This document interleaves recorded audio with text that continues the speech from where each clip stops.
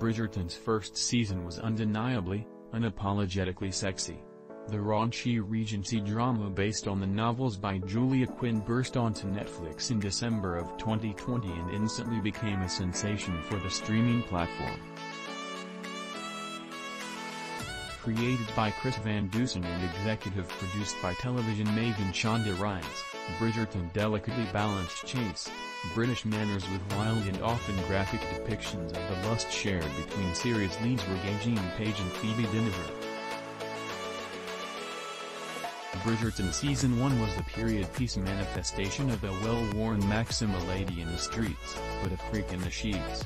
Yet Bridgerton's second season, which hits Netflix today, has almost completely done away with the sex that defined the first season, much to its detriment.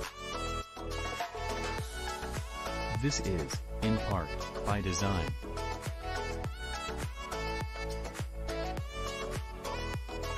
Following the course of Quinn's novels, Bridgerton's second season has done away with Regé-Jean Page's rakish Duke of Hastings in favor of focusing on the love story between Jonathan Bailey's Lord Anthony Bridgerton and newcomer Simone Ashley's Kate Sharma.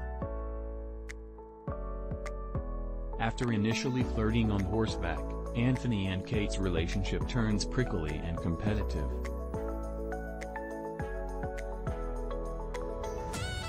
They trade barbs at polo matches and verbally spar while playing croquet, both swearing to find the other absolutely revolting while secretly pining for the other. Their relationship is not dissimilar to that of Kate and Petruchio's in Shakespeare's comedy The Taming of the Shrew, an arrogant and overly proud man constantly at odds with an intelligent and headstrong young woman, also named Kate, who's sworn off men.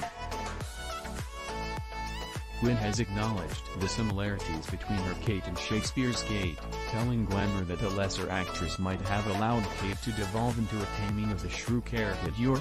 As such, it takes a while for their relationship to bloom. It doesn't help that Kate has a seemingly perfect younger sister, Edwina, Charithra Chandran, who is the object of everyone's eye and has multiple suitors, just like Kat's sister in Shakespeare's play.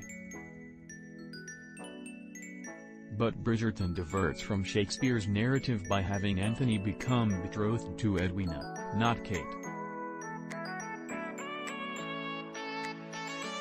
While this creates a very real obstacle that keeps Anthony and Kate's passion for each other at bay, it also destroys any opportunity for the lovebirds to engage physically. And as a result, Season 1's three-minute-long sex montages have been traded for hushed whispers and gardens. The stairwell cunnilingus has been replaced by almost kisses in libraries.